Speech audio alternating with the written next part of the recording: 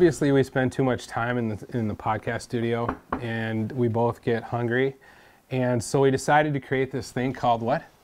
Broken spatula. Broken spatula. Why? Why you ask? Because We love food. That's why. That's it. my reason. I I, love- love food. yeah, I love food too. Love Obviously, this empire wasn't built by Yeah. dieting, This machine right here. and this is kind of how it all started. Yeah, you you. We're dieting, and we were talking about all the things we're gonna miss, and then we're like, let's start a cooking show. Let's start a cooking thing. Dude, we we with from all of our Broken Line podcast fans that um, you know follow us through all of our adventures, and now we're gonna try to add this extra YouTube social media content where we cook and we bring different recipes and uh, we have the viewers challenge us a little Right. bit. We do some different variations of food, and I love cooking. And in the last two years, I've not only taken other people's stuff and recreate it, but also created my own type of thing. Absolutely. And Um, you love crock pots. I love crock pots. I love these. What do you call them? Electric skillet deal. Electric skillets, that's Um, what we're rocking this today. A disclaimer here: we are not trained chefs, That's nor will we ever be. Yeah, Like I like I love Legos, but I never want to be a master builder. yeah. Speaking of building, you What ready? we- oh, what are we building? What are we Well, creating? we're making grilled cheese, man. oh, yes. But they're not your ordinary grilled cheese. So today's episode, we are um, doing, yes, grilled cheese. Episode one of the Broken Spatula, grilled cheese. grilled cheese. I'm doing the pizza grilled cheese. Actually, it's called an inside-outside pizza grilled cheese, kind of like a hot pocket, if you like hot pockets. Pop tart with nasty meat. So I'm from Wisconsin, so pudgy pies, at least that's what they call it there. It sounds like something that somebody called me when I was a kid. pudgy pie. Yeah. Minnesota has other variations of names for it, and so do other people. So basically, pudgy pie is two clamps that clamp together, and they make We call them Tonka toasters. Tonka toasters. Okay, there you go. Right. So you put it over the Right. fire, you put two pieces of bread, you make a pizza, and it seals all the way around. And I, I wanted to try to recreate that campfire feeling of making that like hot pocket thing, but in a, a home. And we actually sell this here at Liars Lounge at Coles Resort. So this I'm taking off of my menu, and I am gonna show you how simple it is, and it's freaking delicious. Awesome. What one are you doing? Dude, I just, I'm not gonna lie. I straight up stole this off a menu here at a local restaurant in town. Somewhat. Don't These- say the name. Oh! Uh, Don't say the name. Anyway, there's this place that makes these extraordinary wonton wrapped pickles they with do. pepper jack cheese in it. And those will be on this episode, or on one of these episodes, a rendition. a rendition, because Yeah. I also create something just like that with a little So- bit different. I stole the innards of these things, and I was like, because those things are, are kind of small and they're never enough. I'm like, I want to make a whole sandwich devoted to this. There you go. So mine is going to be a couple layers of pepper jack cheese, couple layers of uh, Pickles. pickles, and another couple layers of pepper jack cheese. We're talking. So we're talking a grilled, a pickled, spicy pickle grilled cheese, right? Is that Exactly. what it's called? Okay. Exactly. I mean, to me, a grilled cheese is like a blank canvas. You could do There's so whatever many different want. grilled cheeses out there, and I guarantee we'll do another two or three grilled cheeses at some point on on this. So the, the rendition of what this is, the broken line spa- or broken spatula, sorry. Broken spatula is basically where we create goodness. Yeah. And this episode we're Doing we just decided to yeah, make some goodness grilled cheeses. So. And it's appropriate for the time of year, man. It's still it's oh, winter. yeah. I, the only thing would have been is some homemade soup or something. Yeah, soup. I just, for you know what? I'm not gonna lie. I've never made homemade soup. I go straight to the can, Straight to the Campbell's or something. Just- right on. Except I do tweak that. I don't put a full can of water in there. I like it thick. Thick can. Yeah. I've, yeah. I've, okay. Anyway, that's a different subject. So Yeah, so what kind of bread are we using? We're not using just normal bread. We're using French, right? Well, it says French. Yeah, it's bru- I, I would cut that half of the word out because I don't even know how to say that. brioche. Eh, brioche. But you like said that. it sounded Italian, and I looked down and said, "Well, it's French. French. It's brioche. Brioche. Brioche. I just French know that because they make all that delicious French toast at Perkins Oh yeah. out of this. So instead of using a normal bread, we're using a little Right. thicker of bread with a little French Again, French dabble. blank canvas, bread, whatever bread you want to do. I even have a recipe up here for using raisin bread. Ooh. That's a raisin breakfast thing, though. Absolutely. And custom, custom. We're, not fancy people, so No, we're fishermen. We're gonna show a finished version of each of ours on a beautiful. Don't Dixie. set it on there because it'll catch fire. Oh yeah, it's gonna, it's gonna burn. Okay. So, you do you do you want to kind of run through what your ingredients are, run through what you're gonna do, then I'll run through my ingredients and what I'm gonna do. grilled cheese, Grilled cheese. quality good bread. But you don't use butter, you use mayo. This is dirty little secret for awesome grilled cheese. Instead of using butter on the outside to make it crispy, mayo.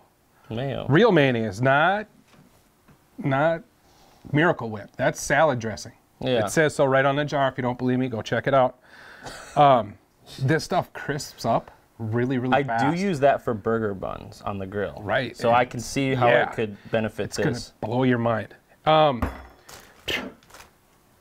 Pickles, but you did I, I'm doing thinly sliced, I sliced pickles, not not chopped. and it makes sense for a grilled cheese. So they're like slabs. And then uh, I mean, you're gonna put a freaking full circle pickle on it. That's Well, you that's could. the genius. But that's the perfect version for a actually the pickles I was looking for, they used to make these pickles that were like this big around.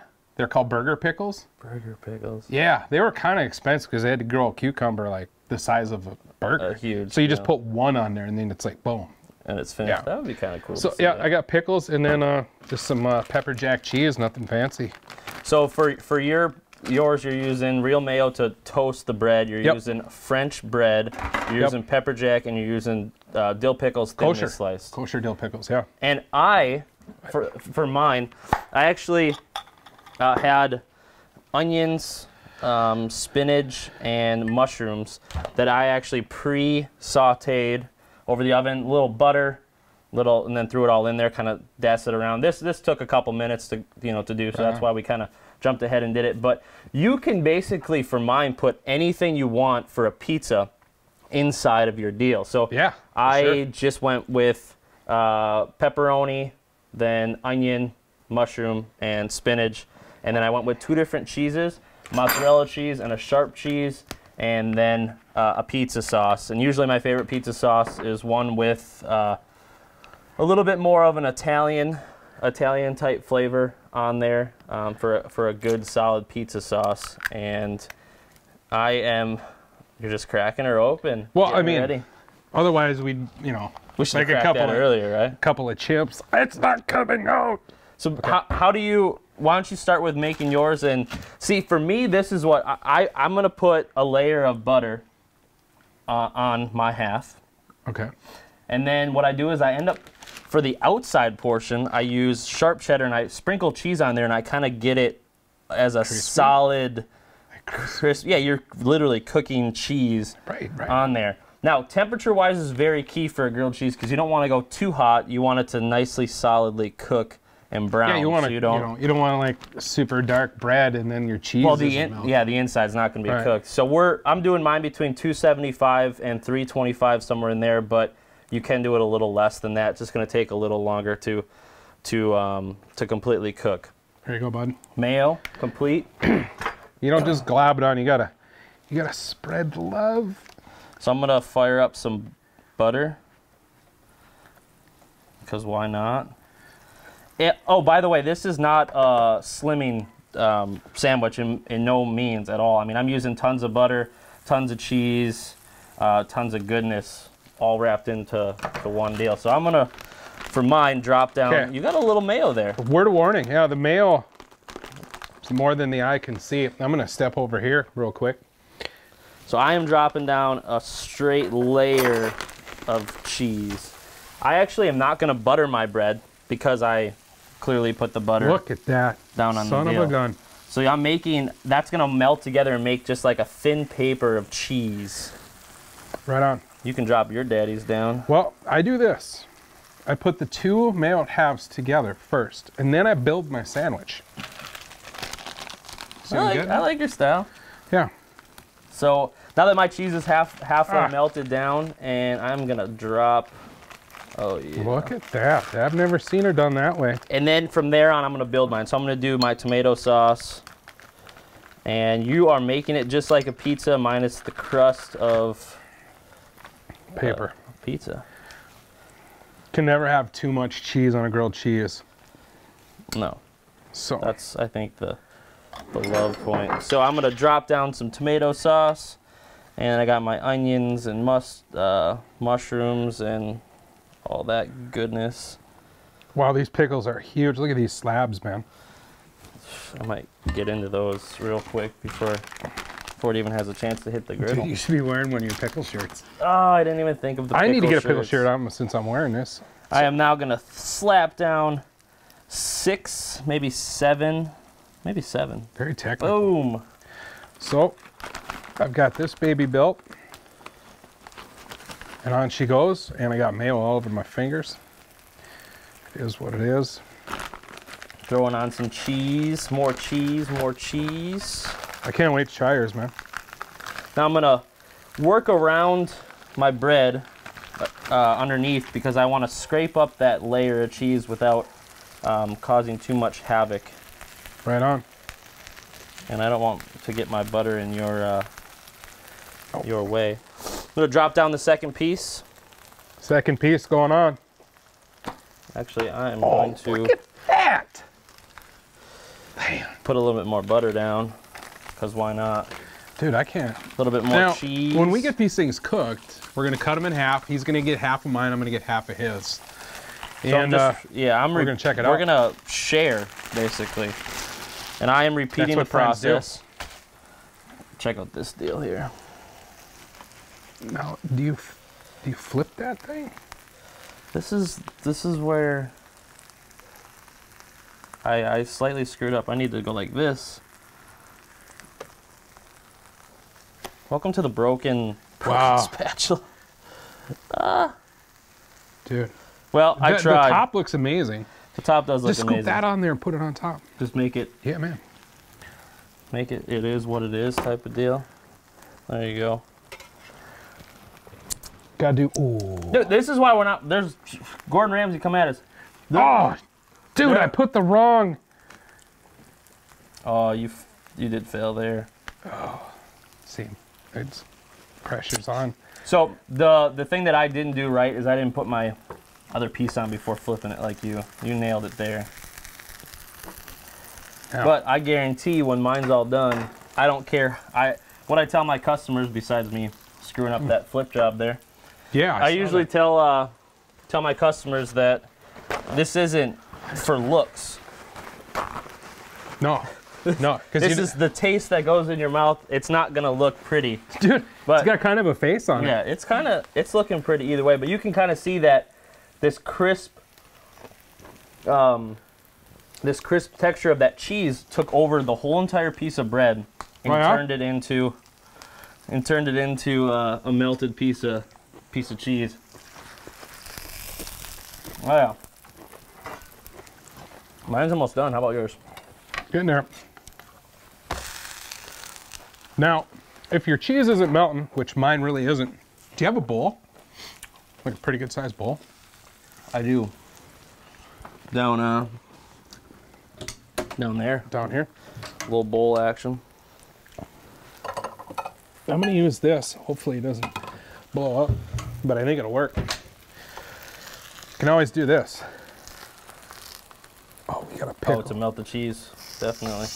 Whoa! hey! Biting off pickles. Oh, cool. That'd been awesome if it stuck on the lens. Stuck in the camera been- smacks it. You couldn't have. All right, so mine has come to a complete check. I don't want to burn this thing. Check out that madness. Oh man, I just want to melt this cheese just Like this little. is not a healthy sandwich in any way, and that's that's not the point. Uh, besides it looking probably the sloppiest I've ever made it. Uh, tell me that doesn't look like one a heart attack, but two just delicious. It looks super good. Um. Okay, Yours looks at least better than mine. Just want to double But the only thing. I would do to, to f- top this off is I would cut it. Look at that. You can lift yours up, show the show the top world. Boom. So that. I would finish this off with cutting this in half Right. and then using this as a dipper, so a uh, pizza sauce dipper. Right on, man. That's what I would uh, completely do. Usually, when I take mine off, because of all the cheese that slopped in there, it's not going to break as good as yours. So typically, for my uh, specific one, I let it sit for a while, let it kind of harden back up. There you go, cut? buddy. Look at that. I'm not gonna lie, yours looks pretty good. Well, we're gonna find out. But I'll tell you what mine doesn't look like. Just doesn't look as good as yours. Yeah, but you know what? Mine will rock though, I promise. All right, I'm gonna try it. I'm going for it. I can't wait. I haven't eaten since lunch. Like a normal human being. Like a normal hum- human being. Oh my god, dude. That's Yeah. what I'm saying. Just, it That's kick- good. Kicks you right, right where you need to kick it. This may need to go on the menu. It's good. Is it? I'm gonna try. You get a I've never made it before. I That's just came good. up with it. The key is the pickle's not too strong, and the pepper jack's not too strong. It blends together just pretty much perfect. Okay, let's shut her down. We gotta eat, man. Dude. Broken, broken spatula, episode one. We're just dirty, messy, hungry, Give me a cheers, man. making a mess. Here's to episode one and Boom. I don't know, on the Two next. creations: the pizza, grilled cheese with the fixins, uh-huh. and the pickled, spicy pepper jack, delicious goodness grilled cheese. Yep. We'll Awesome. We'll, see you on the next one. Well, we're gonna take this to the studio. Lay down some mad tracks for y'all. Boom! That's freaking good. Messy. Good.